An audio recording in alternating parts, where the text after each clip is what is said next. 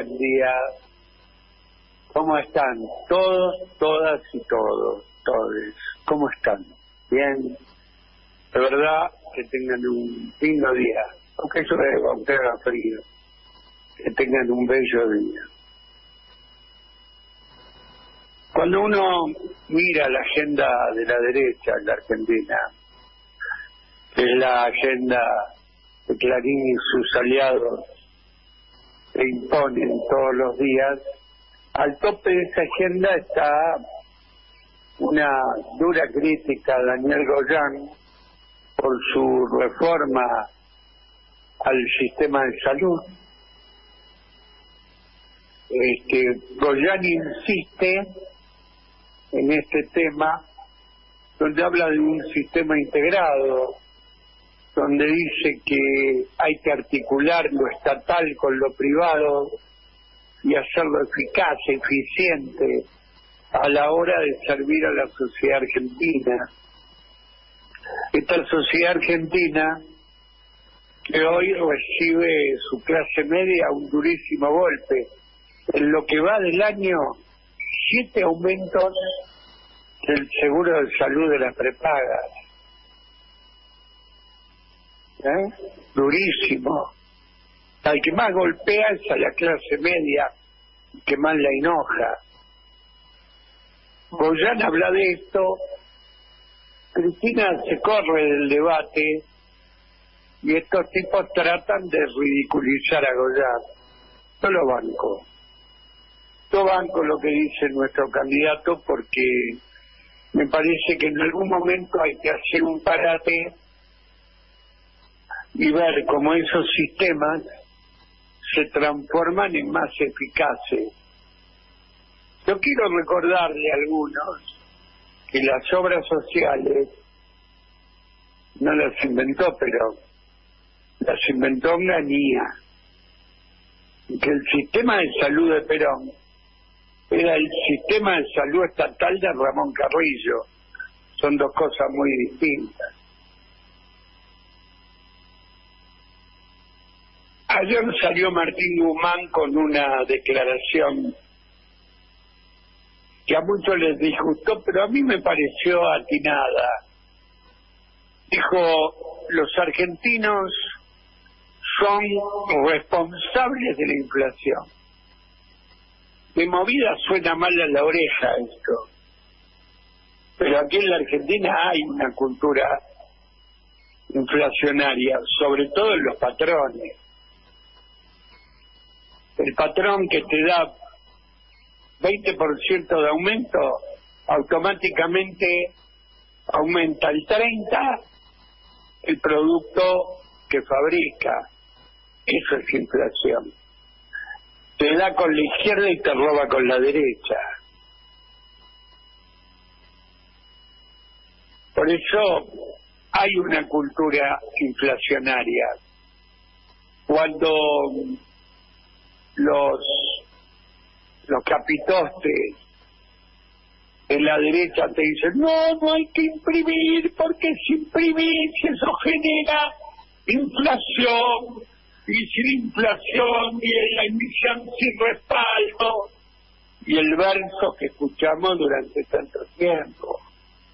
Los gringos, Estados Unidos, los gringos, acaban de emitir cuatro billones de dólares. ¿Qué respaldo tiene eso?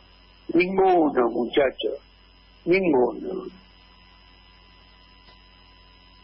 Ellos sí, nosotros no. Por eso hay que repensar estas cosas y nunca olvidar a lo que decimos siempre, que es la revolución digital.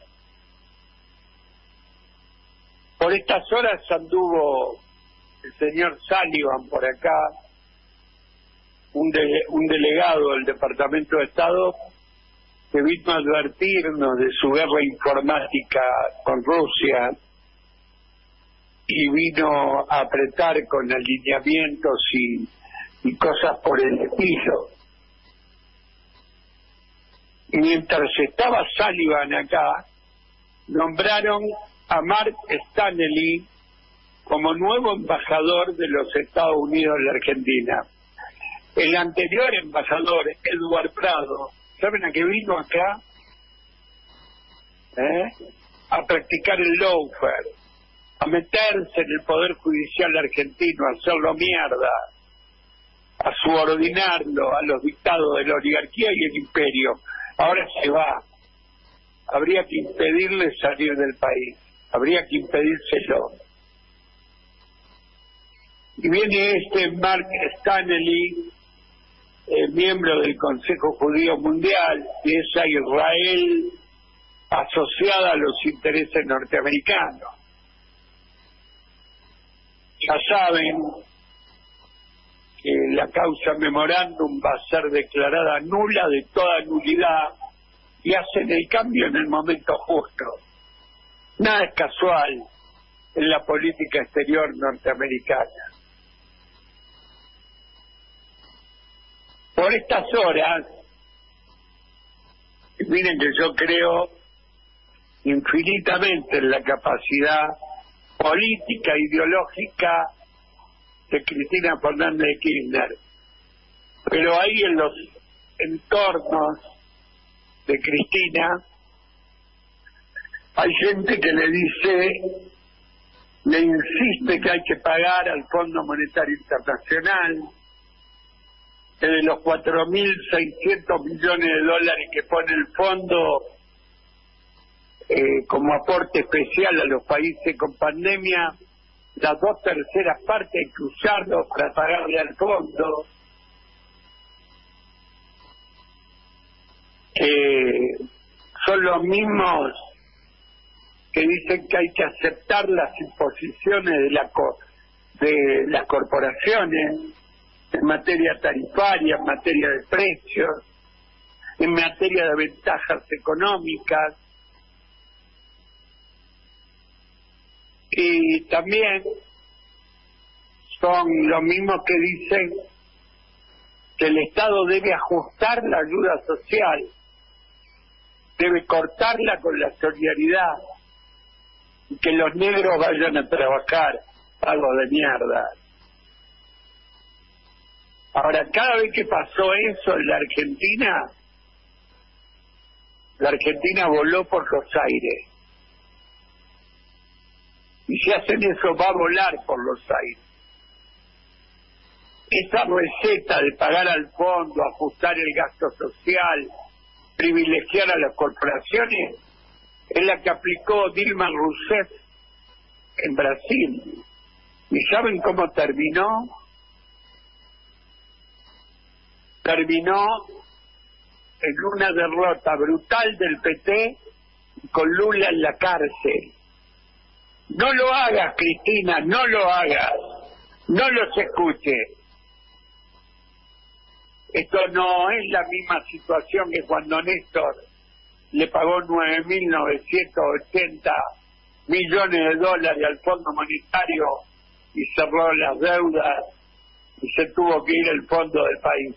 No es la misma situación, es absolutamente distinta en lo económico, en lo social y en lo político. No los escuche Cristina. Radio Rebelde, esta radio clandestina y menesterosa, que pide que no los escuche.